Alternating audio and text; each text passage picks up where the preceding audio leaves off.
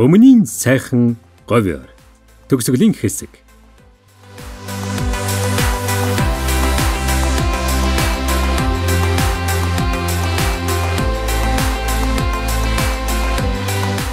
Обязательно сделаем большую картину. Это, это стоит того. Да. Тут все очень контрастно. А, Цвета Там прям глаз радуется. Цвета очень мощные. Тут холодное, Живопись. сочетание холодного и теплого. Это, это вообще, как сказать, Светлана? Просто фантастика, да? Очень живописное место. Очень много красок. Я начала видеть, э, как монгольские художники, яркие, яркие краски уже. Да, м- моя живопись немного даже изменилась, мне кажется. Да. Сэтгэл бас бүр үнэхээр гайхамшигтай байна. Аа би зүйл говь газрыг өмнө зөвхөн телевизээрээс л харж байсан. Тэгээд боддоор ингэж харахад бол үнэхээр гайхамшигтай сэтгэл төрсөн. Аа тэгээд хэрвээ би яруу найрагч байсан бол энэ газрын тухай шүлэг бичих байлаа. Гэхдээ яруу найрагч биш зураач хүн болохоор өнгө будгийн хүчээр л одоо харсан гоо үзэсгэлэнгээ аа зураг болгож буулгая гэж бодож байна. Тэгээд заавал том зураг хийх ёстой гэсэн тийм сэтгэл төрж байна.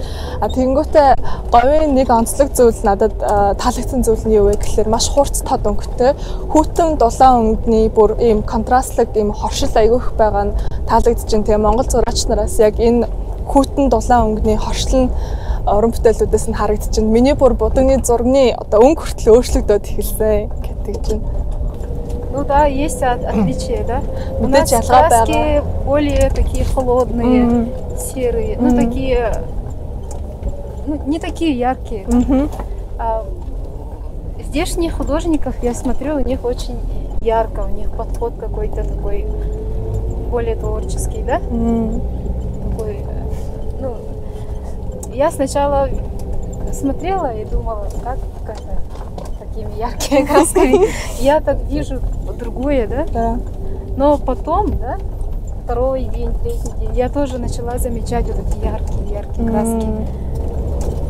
Вот. Мне кажется, это место меня научило, ну, сделало мою живопись еще ярче, может, Дальнейшем цвет. Хамгийн анхны өдрүүдэд болохоор бусад зураач нарын зургуудыг хараад яаж ийм тод өнгөтэй байдаг байна гэж бодож исэн гинэ. Тэгээд 2 дахь 3 дахь өдрөөс энэ ч ирээд миний ингээд миний яг одоо зураг одоо миний өнгөнүүд гэх юм бол илүү хүүтэн саарал талдаа яг бусад зураач нарыг бодвол тийм тод ассан өнгө бол байхгүй байсан.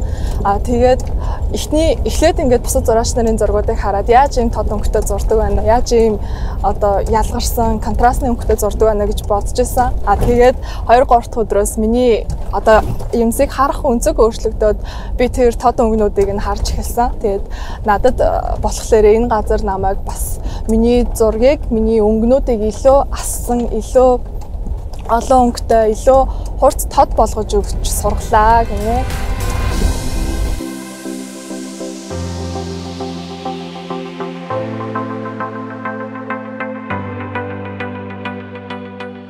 Би урд нь говь газараар явж байсан. Гэхдээ яг энэ газараар явж байгаагүй. Урд нь 95 онд өмнөө явж байсан. Гэхдээ явж байгаа газараар явахад үнээр гайхамшиг. Бидний энэ аялын туршид энэ э, тэнгэр хангаа биднийг бас аягүй сайхан харлаа. Ингээ хамгийн нэгдүгээр мөнх хөх тэнгэртэй энэ э, газрын бууд бас сардгуудтай говь хангаа газрын эзэн самбад оршихын эзлүүдэд маш их талархлаа. Тэгээ бид нар энд ирээд маш их гоё өнгөнүүдийг хаж чи олон гоё судалгаанууд хийж байна. Өнгө бол үнээр гайх гайхалтай өгөөр хийхээ аргагүй сайхан хэлээд байна. Миний хувьд бас бид гур ер нь одоо тосоор хийгээ явчихж байгаа. Эцэг би дандаа урд нь нэг төтөнд явахад акварел авч явдаг гэсэн баггүй. Тэгээд энэ нь удаа нэг тусан мудаг затан тасаар аваа явж байгаа нь бас гоё яг тэр орны тийм тусан мудаг чинь бас яг хурдан идэг шүү дээ. Тэгээ энэ удаа ерөөсөө яг ингээд байгаад дээр гоё төд бичиж гэж одоо ингээд үгээр хэлээ одоо ханы хийц сайн саран хөнгөө ялын ам тэгээ энэ мохор шивэстэй очоод үнээр баяртай очоод аягаа сайхан бүтээлүүд гарнаа гэж бодсон чинь. За гайхамшигтай зүйлүүд тэгээ аяг олон олж харж байна. Би биенээсээ бас давхар суралцаад явж байгаа одоо маш баяртай байна. Явсан газар болгон сонин сайхан ба шүү дээ. Үзээгүй газараар явж байгаа юм чанга. Ерөөсөө өвдгөөгийн нутгарч явсан газар болон гой сонинтой. Дандаа байгалийн үдсэн төгөл төр газруудаар л яваад байгаа байхгүй юу?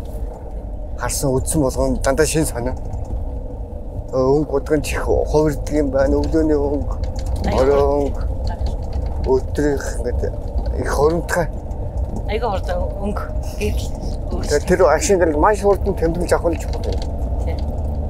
Устараа тэгээд явсан газар болгонд дандаа шинэ байгаа юм шиг ерөөс анх удаа явж байгаа. санаа садар гайхамшигтай. Шинэ өдөр. Тэгээд шинэ мэдрэмж Аа миний хувьд уг нь бол Монгол зуныхаа амжилтаар ирнэ гэсэн ч төлөвлөгөөгүй байсан.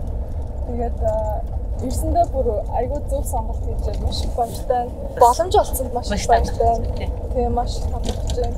Яагаад тэгэхээр ингээд юу гэх юм манай ингээ айлын туршид ингээ явахлаар Монгол орны байгаль ерөөсөө ингээд байнга солигдож явж байгаа байхгүй нэг бол тал болоод нэг бол хангаа газар болоод нэг бол говь болоод тэгээд ингээд өндөр уус болоод тэнгуүтэй хавцаа тал болоод тэнгуүтэй эсэм мохон болоод бүр ингээд нэг дор нэг газар яаж ийм олон юм ингэж хоршилтон байдсан болоо гэдэг нь бүр үнэхээр гайхалтай санагдчих. Тэгээд Орын өглөө орой бол миний хувьд хамгийн үзэсгэлэнтэй санагдсан. Өглөө оройн өнгө бүр хамгийн үзэсгэлэнтэй санагдсан. Тэгээд орой олон гот сар тэнгуүтэ тэнгэр яаж яарч голбор олж ягарч байгаа нь хамгийн үзэсгэлэнтэй. Өглөө маш гайхалтай өнгөтэй болсон. Тэгээд ямар ч гэсэн мундаг олон олон уран бүтээлч нартай яваад бас юм сураад тэр болгоноос бүх үеийн төлөөлөлтөд цуг явж байгаа. Тэгээд тэр болгоноос юм сураа явж байгаа. Тэгээд миний хувьд маш олзууртаж маш сэтгэл өндөр баярлж байна гэдэг.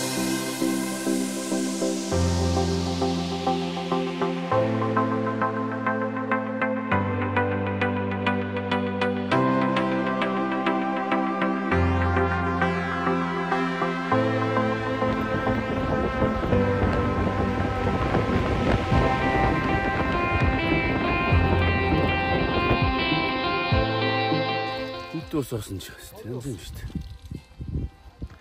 Бид наран даац буюу хэрмэн цаваас 60-аас 70 км зайд орших ундны ус худагтай газар эрцгэл.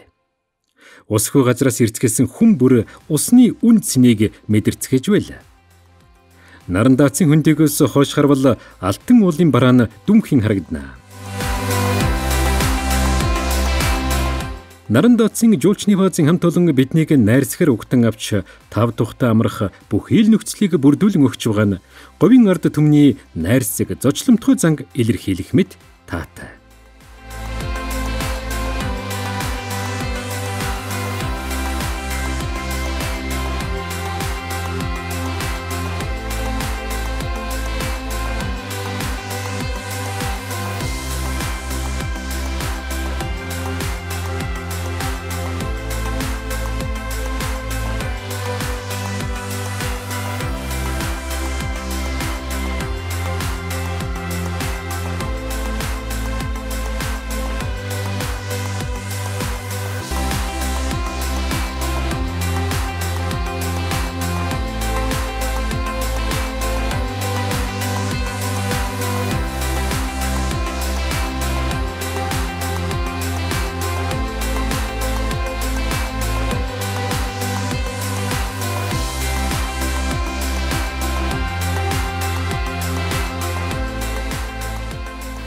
Тэгээ өнөөдөр аяллаа манай машины жолооч тэгээ өмнө говийн 3 дэс сумын аймгийн начин модон гарт хочид болтохыгаа одоо бид нэр зураа сууж байна. Нөөрөө их гой хараад тийм характер тэ харагдах байдал их гоё дончтой ийм хүн болохоор нь бид нэр одоо ингээд амралтын бааз гэртээ ороод болтохыгаа тойроо зураа сууж байна. Миний хийсэн бүтээл болтохыгаа хөргийг одоо ийм байдлаар зурчгаал сууж байна да.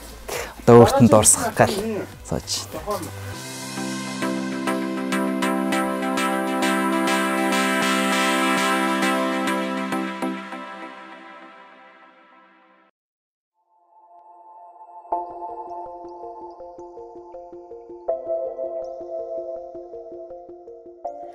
Наран даац.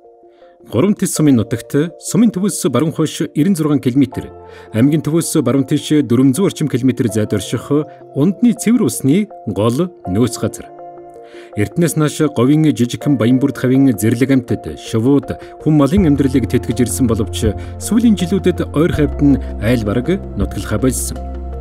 Олон жилийн турш гадаад дотоодын үлэг гөрөвлийн судлаачид хайгуул шинжилгээний ангийнхан жуулчдын буудаг түшиц газар байсан нь одоо ч хэвээрээ байна.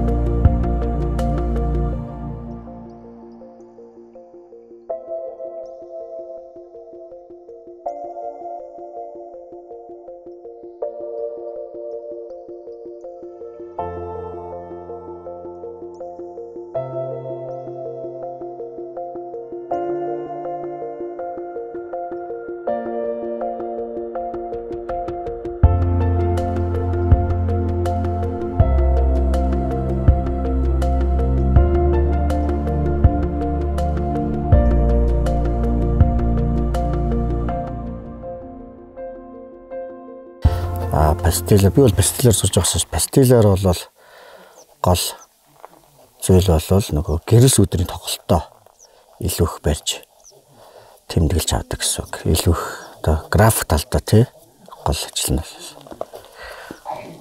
Ер нь бол гол пастилаар бол гэрэл сүдрийнхаа өнгийг тэмдэглээд авчихаар дараа нь тэрийг ямар ч одоо тосон бодог ямар ч материал руугаа буулгаж зурхад бол асуудал ахгүй зурагдаад явчихна бас графикийн бас гоё бармаар хийж болно.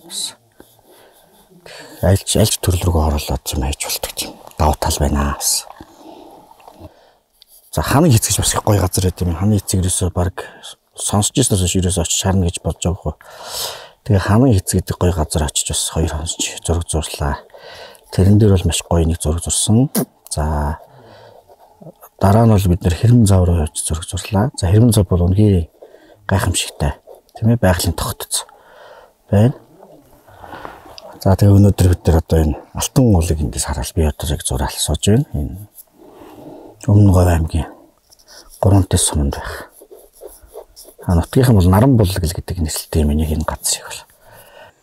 Тэгээ уран бүтээлчд бол хээр хөдөөгөр явж ингэж байглаас одоо байгалийн өнгүүдээ суралцах тийм ээ тэр өөрөө нөгөө өөрсний биеэрээ туулаад энэ байгалыг үзэж харж байгаа учраас тэндээс өөр ингэсэн мэдсэн мэдрэмжээрээ илүү их зурх хүслүүд байдаг. За мөн эндээсээ ургаал а дараагийн гой бүтээлүүд бас гарах ийм боломжууд гарч эхэлдэг. Эндээс маш гоё тийм санаанууд маш их төрж байгаа байглаасаа ээ тэр тухайн газрын бас гоё энергиудыг мэдэрч байгаа. Тэгээ уран бүтээлчдэл яач яасан нөгөө ингэж онгод нь хөглөгдөж их зурх боломжууд бүтээх баримл бол баримллаа хийдэг, график хийдэг, уран зураг хийдэг бүх хүмүүс өөр өөрийнх нь төрлөөр бол хийдэг. За гол байглаас авдаг юм бол ерөөсөө энэ өнгө тийм ээ энэ өнгөний тоглолтууд энэ байгаль яаж юм олон өнгөөр тоглож байна. Одоо өнөөдөр хэд бидний энэ газар бол аа жишээ нь одоо ингээл цагаан шороо байна, улаан шороо байна, ногоон шороо байна. Тийм ээ ингээл хөхөрж байгаа том уулууд гэл ингээд энэ бой байгалийн олон өнгөд хоорондоо яаж тоглож байна. Тэрийг ингэж яаж өөрийнхөө бүтээл дээр гой болгох уу? энэ өөрийнхөө мэдэрсэн гой мэдрэмжээ үзэгчдэд бас яаж гой мэдрүүлэх үү гэдэг энэ гой ажиллаа л хийлгэх ирмэлцэж сууж байна да.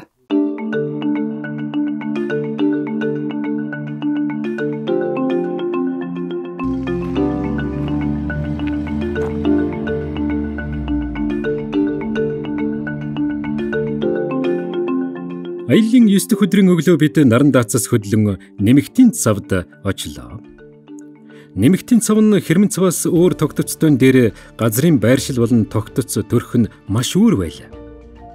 Уран бүтээлчид маань энэхүү газар төрж судалбар зураг зурхаас гадна эргэн тойрны үзэмжтэй сайтар танилцаад энэхүү газрын өрмөц тогтцыг ой төнд ортол тогтоож авлаа.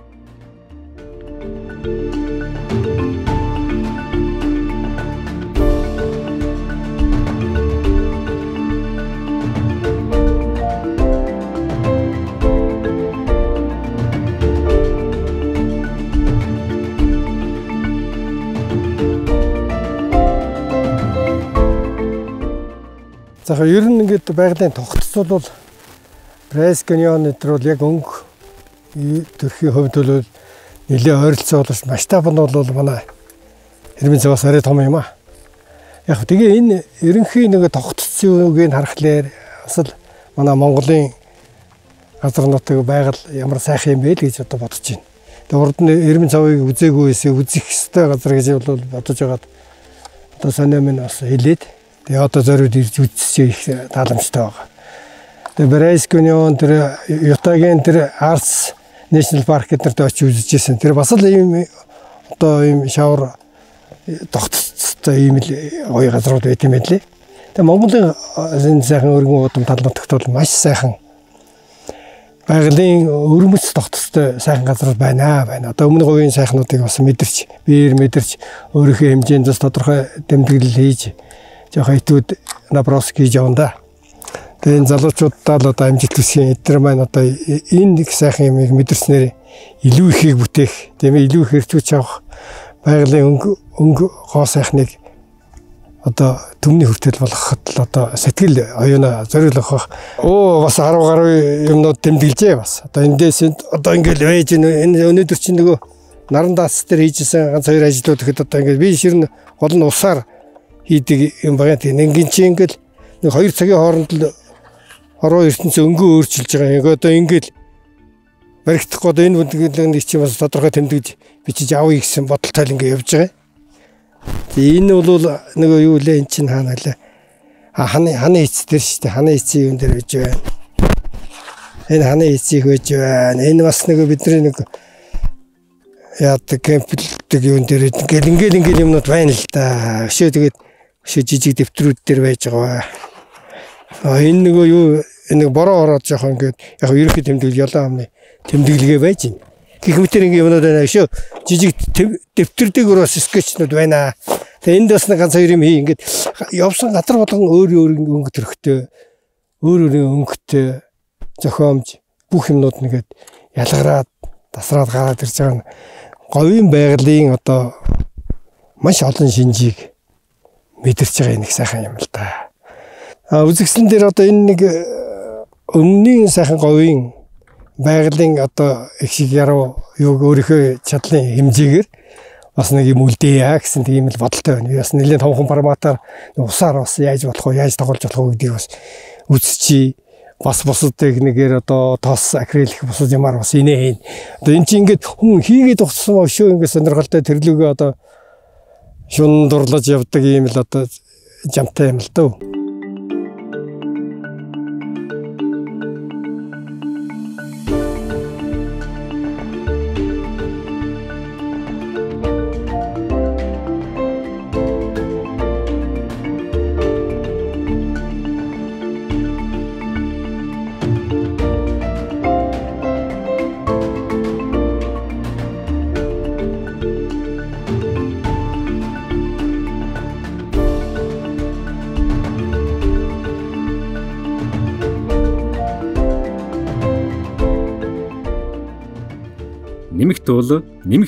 Их хонгил.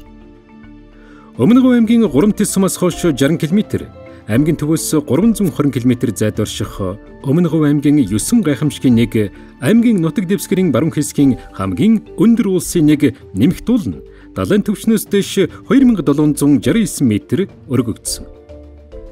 Нэмэгтийн хүндид болон ууланд говийн унган мод заг ургадаггүй бөгөөд ургамалжилт бараг байхгүй гэж хэлж болно. Тэнд үл мэдэх ман татсан байх нь харагдах бөгөөд энэ нь борооных биш тоосонцрын манан аж. Яхарахгүй их говийн гүнд очсон мэт санагдана. Нэмэгт уул, алтан уул, төгөргийн ширээ, ухаа толгод, хэрмэн цав зэрэг газрууд нь үлэг гөрөвлийн олдвороор дэлхийн палеонтологийн салбарт танигдсан газрууд төдийгүй олон улсын шинжилгээний ангиуд байнга судалгаа хийж байдаг газар билээ.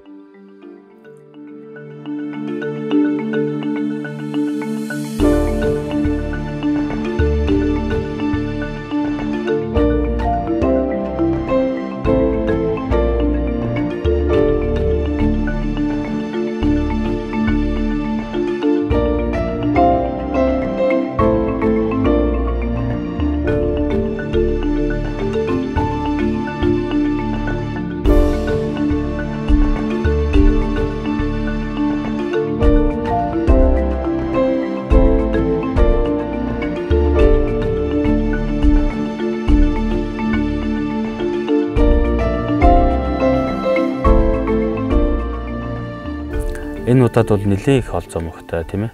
Эхэндээ тийм өнгийг анхаарч исэн бол одоо ингээд орон зайг нь анхаарад маш олон зүйлийг сураад бас энэ мундаг урамтайчтайс тийм зүйлүүдийг олж авч байгаадаа маш их баяртай. Байгласаа мөн тэрийг ажиглаад энэ уран бүтээлчдийн бүтээлүүдээс бас тийм зүйлүүдийг олж хараад өөрийнхөө юм дээр бас тусгаж байгаа.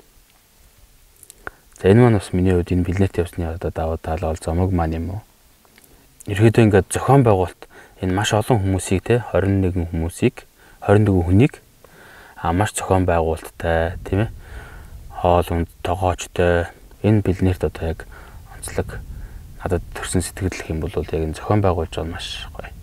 А дээрээс ингээл бид нар өглөө босоод зурга зурна а дуу таарны цагаа угаал Тэгээд буцаад ер нь ингээл дандаа зургандаа цагаан зарцуулж яваа маань маш тийм давуу талтай бэлнэр зөвхөн зургандаа цагаан зарцуулаад а бусад арын албаны зүйлүүдийг энд зохион байгуулж байгаа багийнхаа хийг явж байгаа нь бол маш хаалта сайхан байна.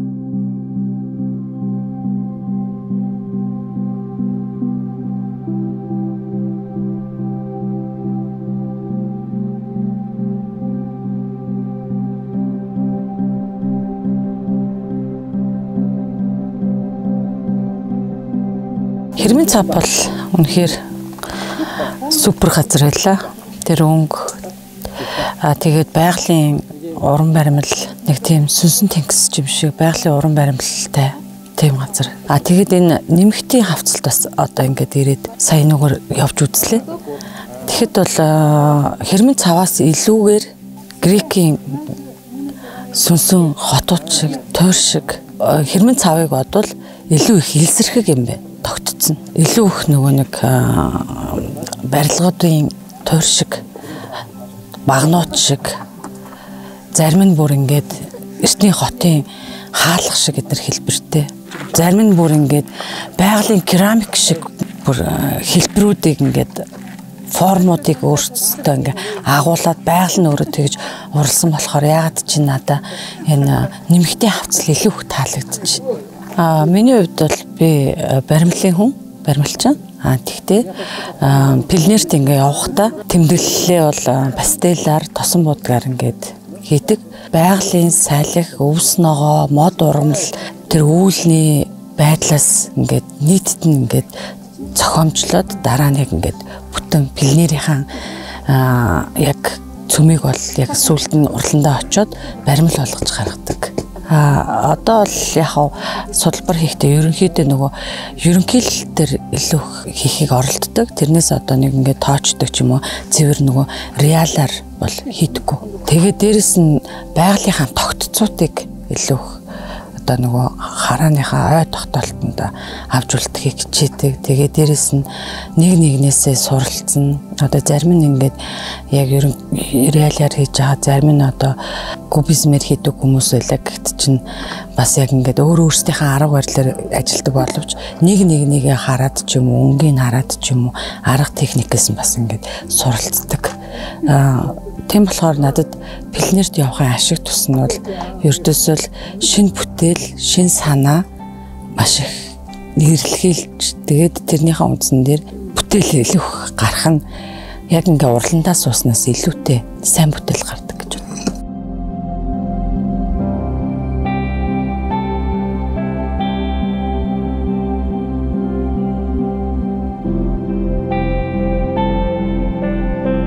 Ер нь тэгээд э, манай ахмадууд намайг залуу байхад тэлдэг байсан юм да ер нь зураач хүн бол сулбар зурагт пилэрт явж иж жинхэнэ зураач болдгоо. Одоо энэ байглаас одоо хизээч хинч зааж чадахгүй тийм гоё өнгийг тэр гоё зохиомж тэр гоё элементүүдийг одоо байглаас л олж аавна гэж дандаа сургадаг байсан. Тэгээч тэгээд би залуугаасаа маш олон жил аль болохоор боломжоор өөрийнхөө ажлыг зохицуулаад энэ олон судалбарт ингэж хамрагдаж явахыг хичээдэг. Тэгээд ийм сайхан одоо үзэсгэлэн судалбарыг зохион байгуулсан одоо хамт олондоо Санин баяртай маш их талархаж байна. Тэгээд түүний гэр бүл гэрлээд тэгээд Өмнө говийн аймгийн тамгын газар засаг дарга болон бүх одоо биднийг дэмжсэн бүх хүмүүс талархаж байна. Миний хувьд бол энэ олон сайхан газруудаар явхад хамгийн их сэтгэл төрсөн манд хэрмэн цав, нэмхтийн цав гэд энэ хоёр үзэсгэлэнт газар маш их сэтгэл төрлөө. Ба машинаасаа баг буухтал би э, дуу алтал өөр ирэхгүй дуу алдаж одоо энэ гайхамшиг биширч энэ одоо байгалийн өмнө сүгдэн мөрөгчээ мөрглөө. Үнэхээр гайхамшигтай. Тэгээ энэ э, Монгол зургаар уран бүтээл хийдэг Монгол зургийн тийм элемент деталууд энд бол маш их байна. Өөр одоо миний одоо шин санаа эдэнүүд ингээл өөрөө ирэхгүй ингээл төрөөл одоо ийм гой бүтээл хийхэнсэн, ийм гой зохиомж гарахынсан гэж өөрөө ирэхгүй одоо энэ газар ирээд ингээ бодогдчихээн. А тэгээд яаж Монгол зурагтаа энэ гой элемент, энэ гой нухчаа, энэ гой ис махан одоо цэцэг навчийг одоо яаж ингэж Монгол зурагтай шинээр дүрсэж гарах уу шин санаа бүтээл яаж хийх үү гэд өөрөөс ар араасаа л энэ сайхан бүтээлүүд одоо толгойд эргэлдэж одоо төрөн гарч байна. Одоо очиод сайхан бүтээлүүд хийндээ л гэж бодож байна. Ямар ч исэн аа явсан хүн чинь ямар ч исэн нэг юм толгойд те одоо шин санаа эдэнүүд их гарч байна. Одоо мартахгүй тулд одоо очиод баг шууд уран бүтээлдээ орно л гэж бодож байна. Яагаад гэвэл хугацаа алдах тусам тэр нөгөө яг тухайн агшныхаа сэтгэлд үлдсэн торгоо агшныг одоо ингэж мартах гээх одоо ингэж тийм юм байдаг учраас маш хурцтай уран бүтээлдээ одоо 10 сар гэж юу ах вэ? Одоох штэ сарын л зай. Уран бүтээл ялангуяа Монгол зургууд маш их хугацаа нарийн шимтлүүр ажил хугацаа ордог учраас баг очин гутаал баг шууд бүтээлдээ орно л гэж би бодож байна. Тэгэд баг тэр хооронд баг бүтээлээ буцаж явах замдаа баг шинэ бүтээлүүдээр толгойдоо бодоод өөр эски завгараа толгойдоо баг харж явах гэж харнаа л гэж бодож байна да.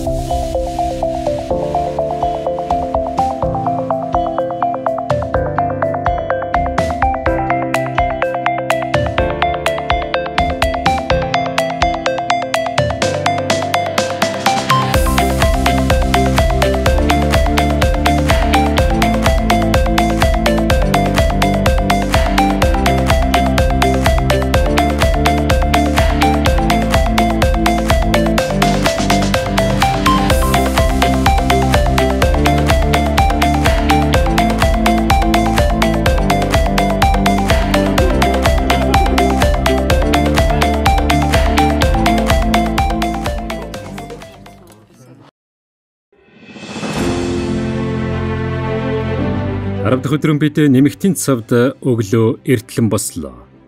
Буруутай байсан учраас яарвчлан хөдөллөө. Учир нь хит их буруутай үед явах зам маань шавартай болоод машин суух магадлалтай байдгийн. Оросын холбооны улсын Якутаас ирсэн уран бүтээлчид маань бидэнд Монголын уламжлалт хэл хуурын аялгауг тоглож сонирхууллаа.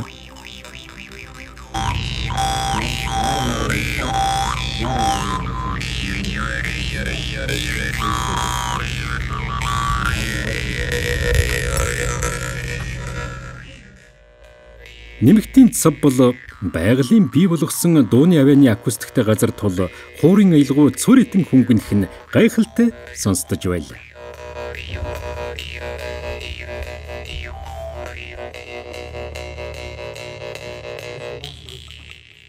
Ийхүү бид цааш аяллан үргэлжлүүлж нэмэгтийн цаваас хөдөлж Северис сумын нутагт байрлах хонгорын элсэнд очлоо.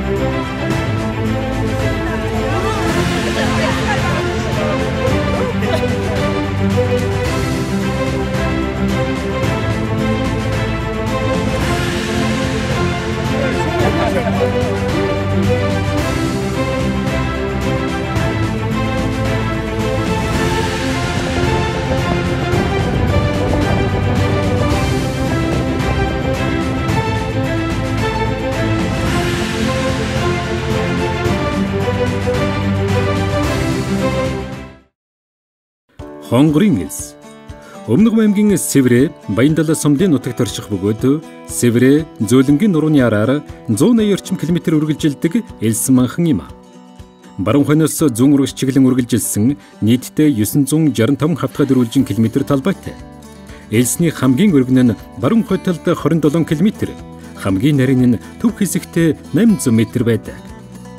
Элсний өрөөдөр гарахад цаашаа хэдэн зуун манхан толгод үргэлжлэн харагдана. Хонгорын элсний ойр хавийг бүхэлд нь харахад урдуур хадтай уул дундуур ургамал ургах аргагүй элсэн манхан. Хойдглэр нь гол урсаж ногоорсон баян бүрд харагдах нь тун үдсгэлэнтэй. Зөөлөнгийн нуранаас буусан үерийн ус хонгорын элсний дундуур зам гарган нэвт турсаж хөрсөнд шингээд элсний хойд захад сэрүүн булаг арганга булаг хэмээх горхийг үүсгэн газар дээр дахин гарч баруун тийш элснийхэн хаягаар 10 гаруй км урсдаг бөгөөд үнийг хонгорын гол хэмээн.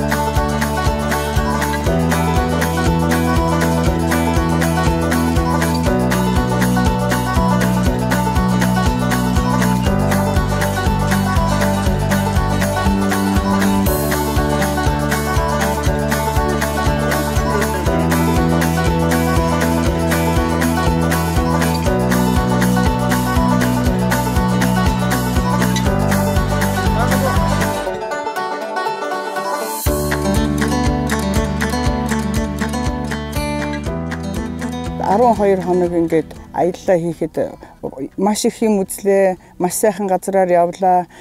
Их ч олон сайхан уран бүтээлийн сэдв оллоо.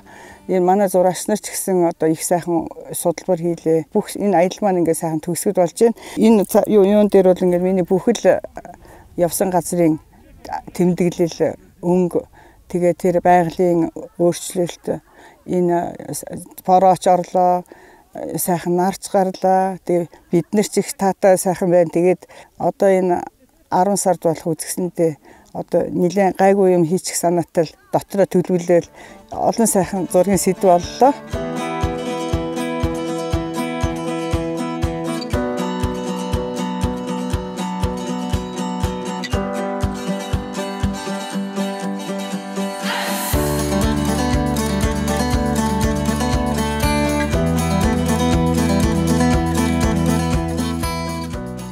Хонгорын элс бол уран бүтээлчдийн онцлог газрын нэг бөгөөд Өмнө Говь аймгийн хэмжээнд хамгийн томоохон аялал жуулчлалын гол тулгуур газар билээ. Хонгорын элс дэх үзэмжийг зураачид маань өөрсдийн барилах кемпинг зүгээс болон элсэн манхан дээрээ очин толдон зурцгаалаа.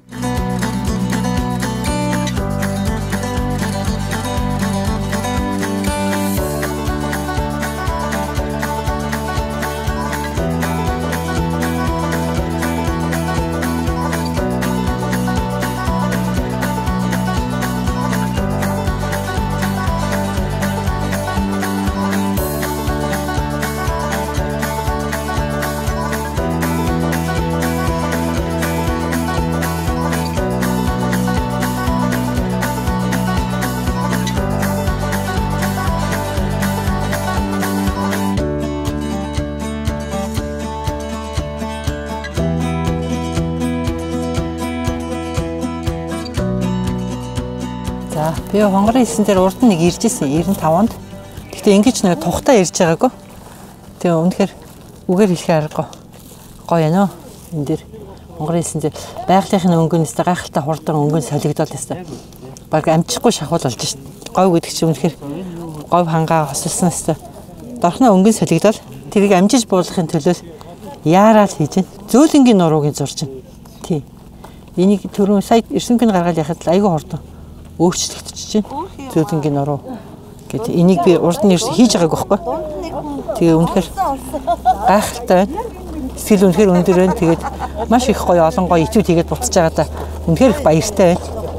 Тэгээд миний хувьд бол тосоо тосон муудыг аваа явцсан. Тэгэл амжиж хийх гээл гялцал гал үзэж ин да. 10 сарга үтслэндээ хичээндээ гоё бүтээл тавина гэж бодож байна. Одоо этюд наброск бидний ч одоо этюд хийж байгаа шүү дээ. Этюд наброск чинь ерөөсө зураач хүний майн мэгзэм гэдэг шүү дээ. Манай ахмад зураач нар Эрсүнг этюд наброск бол байнга майн мэгзэм шиг байнга хийж явах ёстой. Тэгээд наброск хийх тусмаа Эрсүнг сайжирна, Эрсүнг сайн хийх тусмаа нөгөө өнгө сайжирна гэж ярьдаг. Тэрэн шиг бид нар ч бас ингээд сая нөгөө ковидын жилгээд би бэлнэрт яваагүй бас их удацсан байна. Тэгээд одоо сайхан гар халаад гой дасж дөө. Үнэхээр гайхамшигтай. Байнга л хийж явах хэрэгтэй. Заавал хөдөө гадаач биш шил те. Ойрхон хийж болно шүү дээ чинь те. Өө надад бол одоо одоо ч байгаа бүх хүндэлт юм байдаг хөтөө. Хичнээнч одоо анх удаа ирж байгаа ч гэсэн урд нь ирж исэн газар дээр ирсэн ч гэсэн байгаль гэдэг бол бандаа өөр өөр хутаж авдаг те. Зүс одоо зүсээс те янз янзаар бороотой бол бороотой, нартай бол нартай. Тэгээ миний хувьд бол одоо анх удаа өмнө аймгаар явж байгаа учраас бүх газрууд өстой маш гоё. Одоо шин байна. Тэгээ хамгийн сэтгэлд буусан гэх юм налга бүгд л өстой анхны сэтгэл бол өстой гайхалтай байлаа.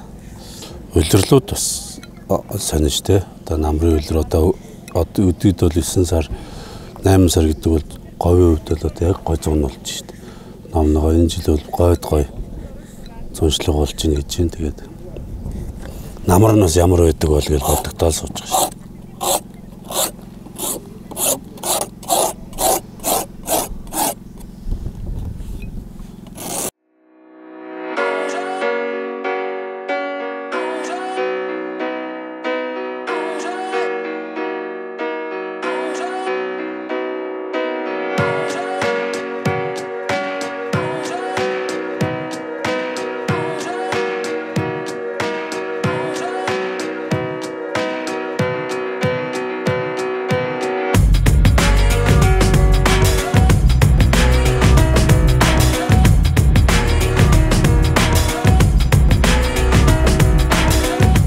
дээрээс аливаалах энэ мэдрэмжүүд, онцлог тэр зүйлсүүдийг гаргахын илүү хичээдэг байгаа. Одоо шин хонгорын элс бол юм тийм зөөлөн, элс өөрөө тийм эмхтэн хүн шиг тийм зүйл харав надад мэдрэгддэг. А хойноогоо уул нь бол ингээд гоё. А эрэгтэй хүн шиг. Юм арга билэг шиг тийм хатуу төлөвтэй харагддаг тэр яг шин чанарын илүү гаргаж зурх юмсан гэж бодож байна. Өглөөний тэм гоё нэг настрын тэр нэг юм энэ байгалийн гоё тэр нэг шин чанарын гоё өөрийнхөө мэдэрч байгаагаараа зурган дээрээ буулгахыг л хүсэж байна да одоо.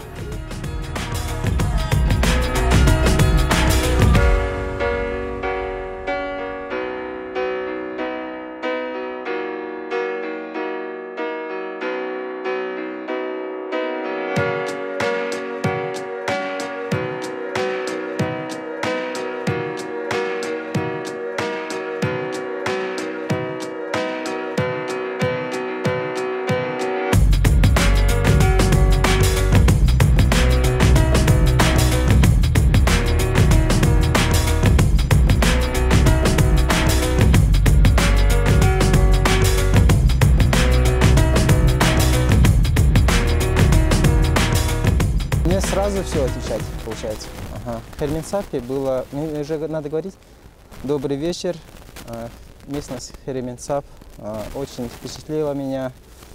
Хэрмэн цав дээр сэтгэлийн хувьд гэх юм бол надад яг эртний соёл иргэншилтэй хотод ирсэн юм шиг тийм мэдрэмжийг төрүүлсэн. Учир нь тэд бид нар пирамид шиг, хот шиг, эртний суурин балгас шиг газруудыг, туйруудыг тойр юм шиг сэтгэл төрүүлэх байгалийн тогтц бүтцүүдийг маш ихээр харсан. Тэр бүхнийг би бүх талаас нь өнгө будгийн хүчээр өөрийнхөө төвшөнд дүрслэхийг хичээсэн. Одоо бид нар хонгорын эс гэдэг газар ирээд байна. Бид нар бидний хувьд гэх юм бол энэ пилнери туршид байнга байраа сальж явж байгаа. Бидний очисон газар бүр нэг нэгнээс ялгарч байгаа сэтгэл санааны байдлын төвшөнд өнгөөрөө бүх талаараа хоорондоо бие биенээсээ ялгарч байгаа. Энд жишээлбэл өнгөнүүд нь маш контрастны байна. Уул, ус, цөл, эс гэд бүх зүйл нэгэн зэрэг оршиж байгаа. Маш сайхан хансан өнгөнүүдтэй санагдаж байна.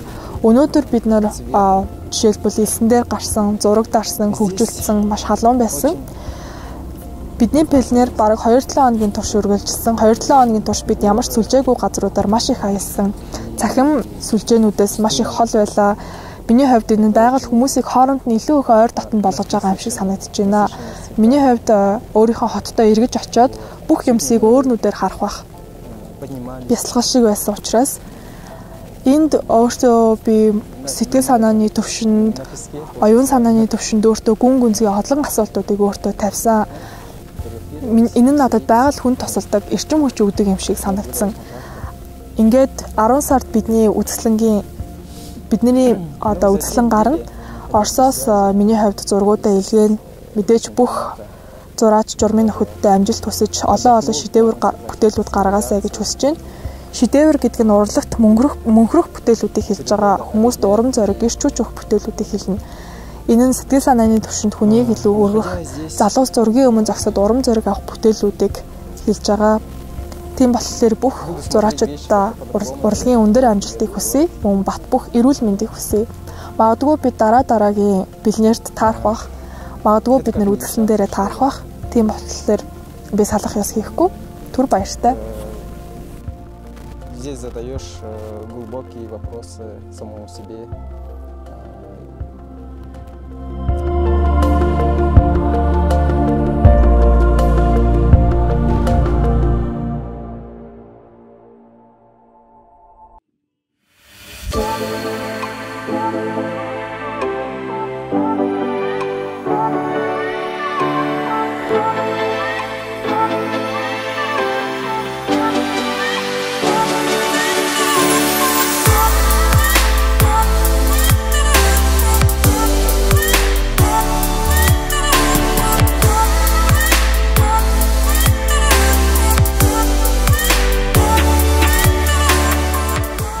Тэгээд яг ийм мундаг уран бүтээлч зураач хүмүүстэй явах бол маш их давуу талтай байд юм байна. Их зүйл сурдаг юм байна.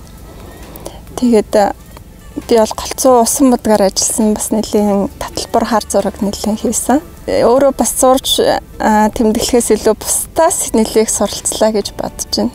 А ерөнхийдөө аяллаа бүх маршрут их таалагдсан их гайхалтай бүр дуу алдмаар сайхан сайхан газруудаар явлаа. Ялангуяа хэрмэн цав тэр ханы хийцтэй сөүлт бас буусан тэр нэмэгтэй цав бас их гайхалтай. Одоо ингээд зүгээр ингээд харахад ийм тал газраар явж байгаа юм шиг боловч гинт ингээд хавцал ийм цав руу ороод үнэхээр дуу алтмар гайхалтай сайхан байсан. Одоо энэ пилнерээс өхөн байгуулж байгаа сонин баяр уран бүтээлч бол их тийм гоё үйл ажиллагаа зохион байгуулж байна гэж би бол харж байна. Яа тэгвэл манай Монголын өнцөг булан бүр бүх газрын байгууллагууд их гоё. Манай жишээлбэл манай Завхан аймаг бас зөндөө их сайхан байгальтай. Одоо болтгсон бол тийшээ аваачаад одоо Монголынхоо сайхан бүхэл байгалыг ингээд мундаг уран бүтээлчнэр бүтээлч нараар бүтээл гэх юмсан гэдэг бодол бас аргагүй ихэн төрдөг юм байна. Цааш цаашдаа ингээд зөндөө олон пленэрийн юмрхүү зүйл зөндөө зохион байгуулагдах байхаа гэж бодож байна.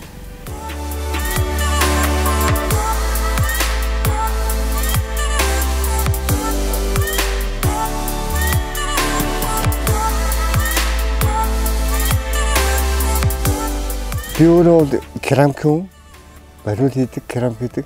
Тэгээд сүүлийн үед дандаа бариул хийж байгаа юм л да. Манай эхнэр болохоор график уран зургийн охин маань уран зургийн чиглэлээр сурж байгаа.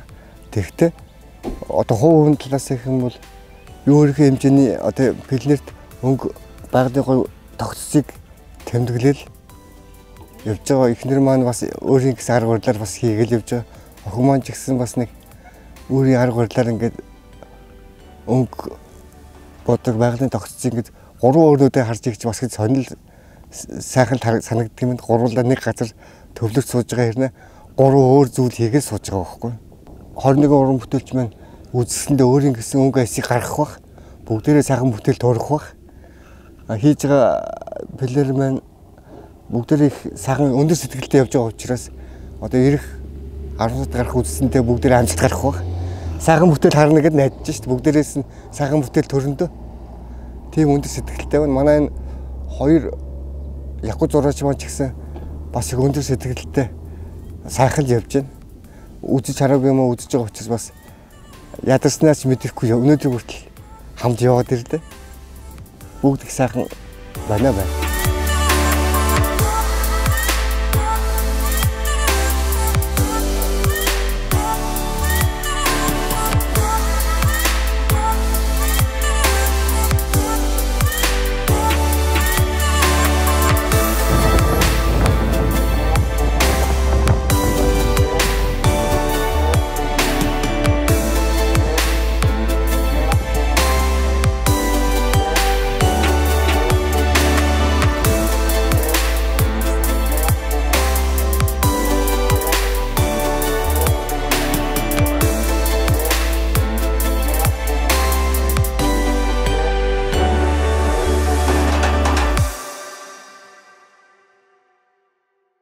Монголын орчуудын эвлэлээс зохион байгуулагдж байгаа арт төсөл маань бэлнэр аяллаар эхний ээлжинд ингээ яваад дуусч байна. А хоёр дахь үе шат нь болохоор зэрэг урландаа үтээлээ хийгээд а гурав дахь үе шат нь болохоор зэрэг олон түмэнд үзэгчдийн хад хүртэл болгож галерей дээр үзлэн болгож нээж харуулдаг юм төсөл байгаа.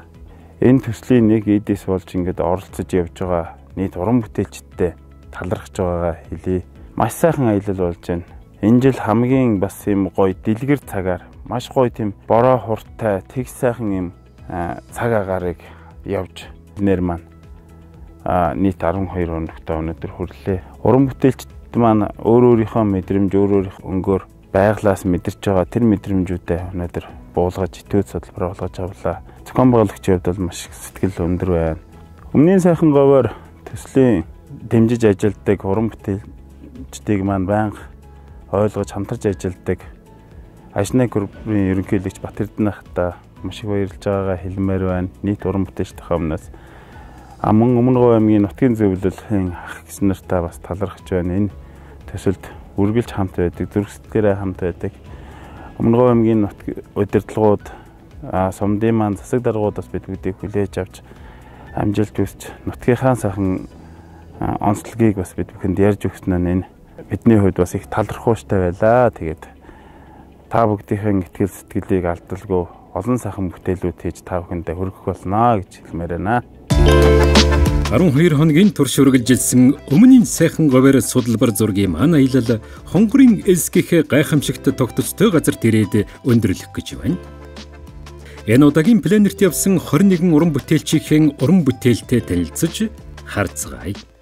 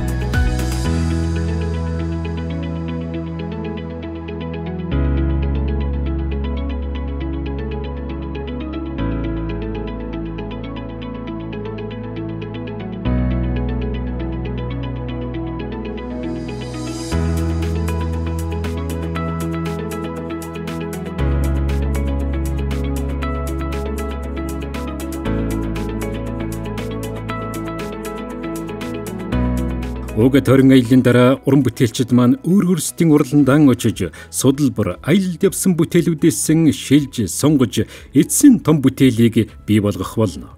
Энэхүү уран бүтээлийн ажилд нь төслийн багийн зүгээс амжилт хүсье. Аялын 12 дахь өдөр бид Өмнөг аймгийн төв Далан задгад хотод ирсэн юм.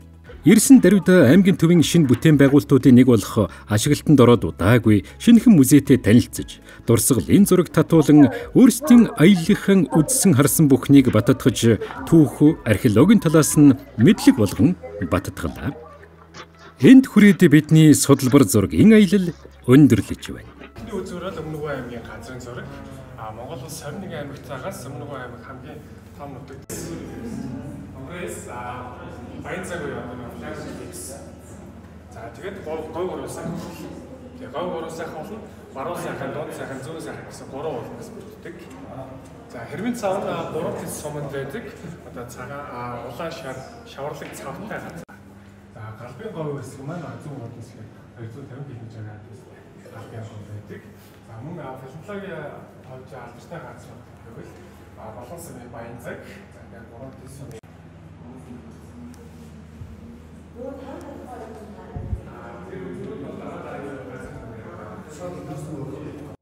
Энэхүү төслийг тасралтгүй 5 жилийн хугацаанд ивент тэтгэж ажилласан Ажна корпорац Өмнөг аймгийн нутгийн зөвлөл, дэмжин ажилласаар ирсэн Өмнөг аймгийн засаг даргын тамгын газар, таван толгой компаниарт мөн аялын явцад найрсаг дотнор хүлээн авч байсан дэлгэр сайхан говь нутаг шигээн нутгийн сайхан зочломтгаар түмэндээ төслийн зохион байгуулагчид Монголын урчуудын эвлэл уран бүтээлчдийн өмнөөс гүн талархал илэрхийлж байна.